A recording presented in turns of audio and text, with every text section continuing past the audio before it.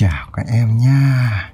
Chúng ta lại tiếp tục gặp nhau trong bài số 136 Đơn vị đo diện tích cm vuông Trang 61 và bài tập môn toán lớp 3 Tập 2 Các em nhớ đây là tập 2 nha Rồi, bây giờ như thường lệ, Các em đã sẵn sàng tâm lý cho việc tiếp nhận bài học chưa?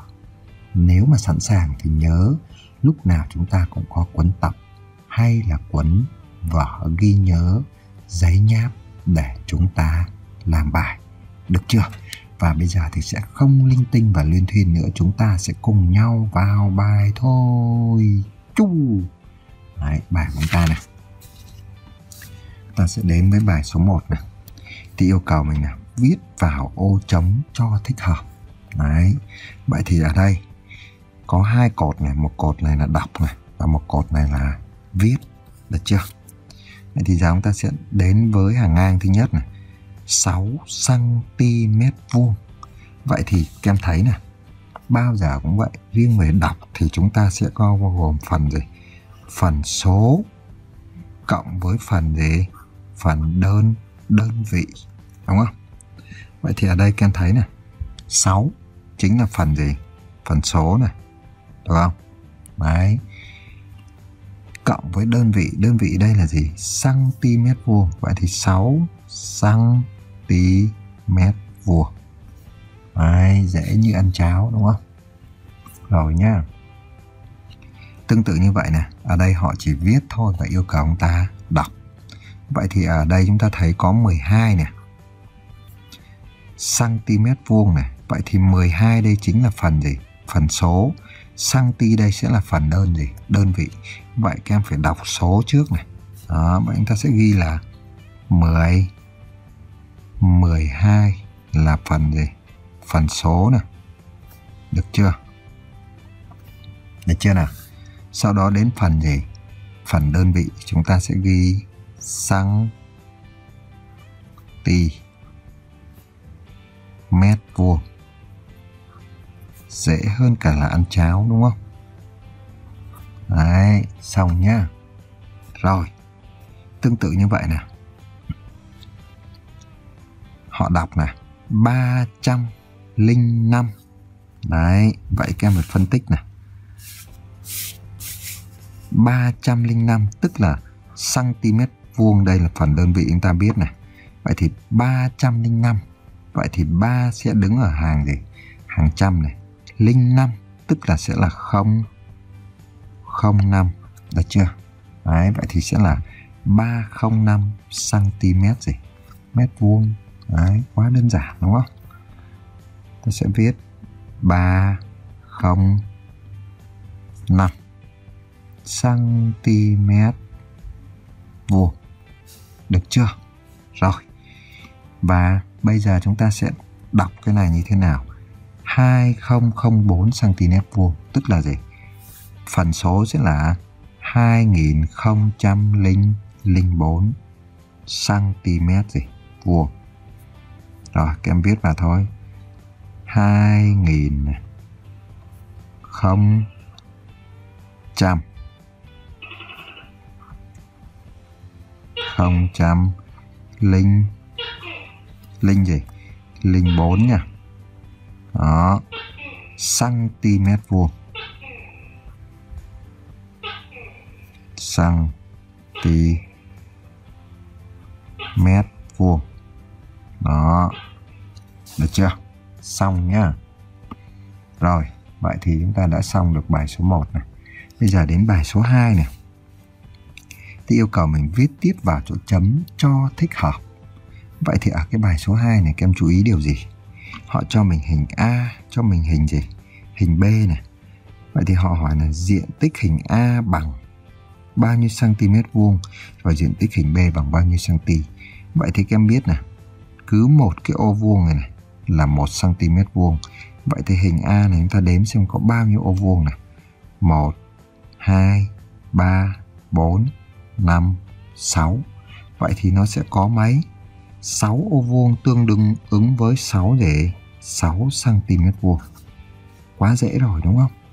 tương tự như vậy thì hình B chúng ta cũng sẽ đếm nè 1, 2, 3, 4, 5, 6. Vậy thì hình B này cũng bằng 6 cm gì vuông. Được chưa? Rồi, xong câu A nhé. Bây giờ đến câu B này. Đúng thì các em ghi chữ đỏ, sai thì các em ghi chữ gì? Chữ S. Đó, vậy thì họ hỏi nè. Diện tích hình A bé hơn diện tích hình B. Đó, vậy thì theo các em nó có bé hơn nên nó lớn hơn nhỉ? Hình A chúng ta vừa tính ra là mấy? 6. Hình B mấy đây? 6. Vậy thì như thế nào? Ai bé hơn? Ừ?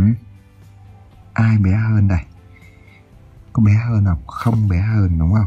Vậy thì câu này chúng ta sẽ thấy nó sẽ là một câu gì? Sai thì ghi chữ S. Được chưa? Diện tích hình A lại lớn hơn diện tích hình B. Có lớn hơn không? Không luôn, cũng là một câu sai. Và ý thứ ba, diện tích hình A bằng diện tích hình B. Đúng không? Bằng không? Bằng. Do vậy đây sẽ là câu đúng. Được chưa? Đấy, xong nhá. Rồi, chúng ta đến với bài số 3 này. Bài số 3 là một bài toán người ta yêu cầu mình tính nhẩm. Vậy thì chúng ta chỉ nhẩm thôi nha. Rồi. 15 cm vuông này Ý thứ nhất này, Đây, thầy quay đây đi. 15 cm vuông cộng với 20 cm vuông thì bằng bao nhiêu? Vậy thì chúng ta về đơn vị này, cm, cm là chúng ta giữ nguyên. Vậy thì các em chỉ cần nhẩm là lấy 15 cộng với gì? 20. 15 cộng với 20 thì bạn nào cũng biết nó sẽ bằng 3 gì? 30 cm gì? Mét vuông. Cứ dễ như ăn tương đúng không? Rồi. 60 cm trừ 40 cm. Vậy thì các em chỉ cần lấy 60 trừ 40. 60 mà trừ 40 tức là lấy 6 trừ gì? Trừ 4. 6 trừ 4 thì bằng 2. 20 gì? cm vuông. À, quá dễ rồi. Rồi, câu này nè. Có 3 số cộng với nhau. Vậy thì chúng ta thấy đơn vị là cm hết nè. 20 cộng với 10 thì bằng bao nhiêu? 30. 30 mà cộng với 15 thì sẽ bằng bao nhiêu? 4 gì? 40 45 cm gì? Vuông xong nhá rồi đến câu B nè.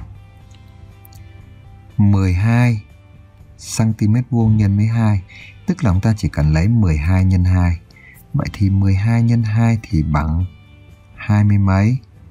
24 cm vuông được chưa 40cm mà chia cho 4 tức là chúng ta chỉ cần lấy 40 chia cho 4. 40 chia 4 thì bằng 10 cm gì? Vuông. Được chưa? Rồi. Đây là gì? Ba số 50 trừ đi 40 thì bằng bao nhiêu? Bằng 10. 10 lại cộng với 10 thì chúng ta sẽ được là 2 20 cm gì? vuông Đấy, xong nhá. Tính nhẩm đơn giản chưa?